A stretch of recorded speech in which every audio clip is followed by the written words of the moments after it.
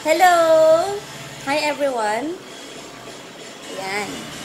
Due to my husband's demand, mag-start ako i-vlog ang aking pang araw-araw na buhay. Bakit? Kasi, sa totoo lang, mahirap maging nanay. At maging, mahirap lalong maging asawa, lalo na ang pag-asawa mo ay isang foreigner. Unang-una, magkaiba kayo ng lingwahe. Magkaiba kayo ng culture. At lalong magkaiba kayo ng pinagbulan. Siyempre. Na. Nakakatawa. Nakakatawa ako sa sarili ko. Yan. Ako nga pala si Frances. Isa akong army.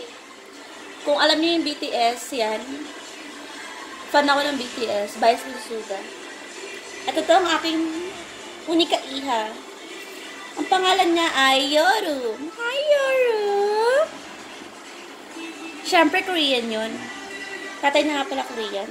Nakalimutan ko sabihin. Ang Yoru po sa Korean, summer. Four seasons. Actually, five. Pero wala pa kayong balak magsunod ng anak. Okay? Kung mapapansin nyo, init-init ang panahon ngayon. Today is April 24! Ang showing ng Avengers Endgame. Gusto kong manood. Pero, hindi kami manonood ngayon. Busy. Ayan ang baby ko. Turning 3 months siya sa May 12. Pinanganak siya noong February 12. Ayan. Ang taba niya, no? Medyo overweight nga siya, eh. Mahilig kasi uminom ng gatas. Ayan. So, yung magiging vlog ko, basta yung magiging vlog ko, pang araw-araw ko lang. Kung gusto yung manood, kung gusto yung masundan yung mga uploads ko na, na videos, YouTube videos, mag-subscribe kayo, syempre. Pero kung ayaw nyo, edi wag. Huwag nyo na ituloy. Gusto ko lang gawin. Yung gusto kong gawin. Hindi ko alam mga sabi ko rito. Pero ayan.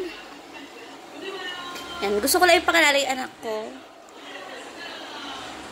Dahil Korean ang kanyang father dear. Susunod, paunti-unti, baka magpakita rin ako ng mga Korean items. Yung mga ginagawa ko. Yung mga ginagawa ng baby ko. Yung mga items na ginagamit namin. Um, pwede rin konting pagluluto. O kaya, MV reaction. Especially pag BTS. Alam niyo na yun. Ano pa ba?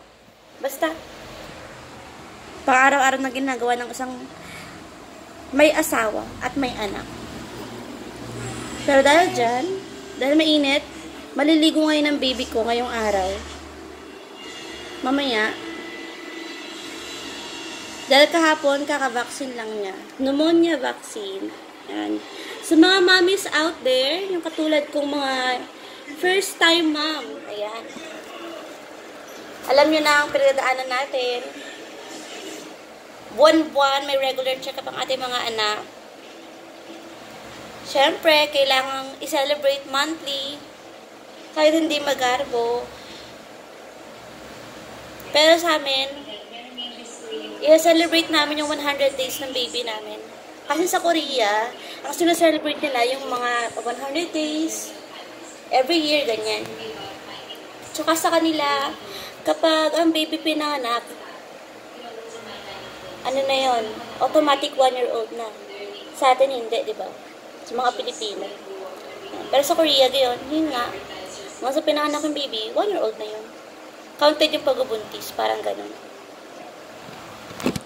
Yan.